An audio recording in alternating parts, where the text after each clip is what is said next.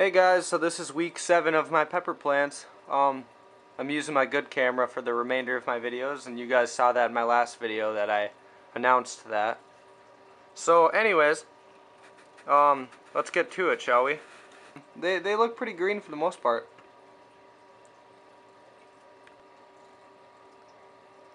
Looks pretty awesome.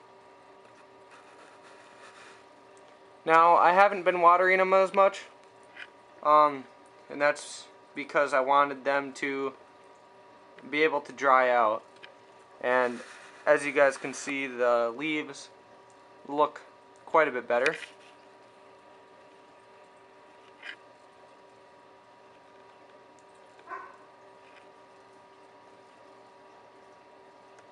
So yeah, um, don't really have much to say about this week other than I guess it's just a matter of time before these guys keep per perking up and uh, we have some peppers on our hands.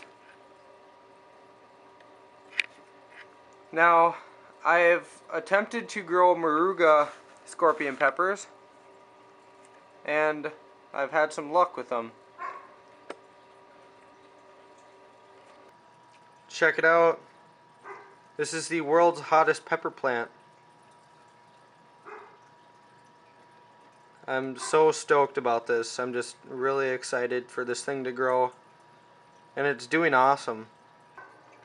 I also have some uh, T-Butch Scorpion Pepper sprouts that have also came out. Um, I happen to get 100% germination on these. And so I'm pretty happy about that. All of the seeds that I planted, they all sprouted. Uh, this one's right here sprouted today. Here's my Scorpion T Butch pepper. Um, I haven't been keeping track of how many weeks it's been. Um, I'd say it's been a little under two weeks. Um, as you guys can see, these are all doing very well. And of course, I also have a tomato plant right here. And this is probably about a week and a half old. So thanks for watching you guys. Um, first of all, I'd like to say um, if you guys have any advice, just keep giving it to me. I'm always willing to learn something. Um, I've said that in about every single video, so you guys probably got it by now. Um, as well as if you guys have any questions and you want to ask me, I'm always willing to answer any questions that you guys may have. And last but not least, um, make sure to subscribe. So thanks for watching. Bye.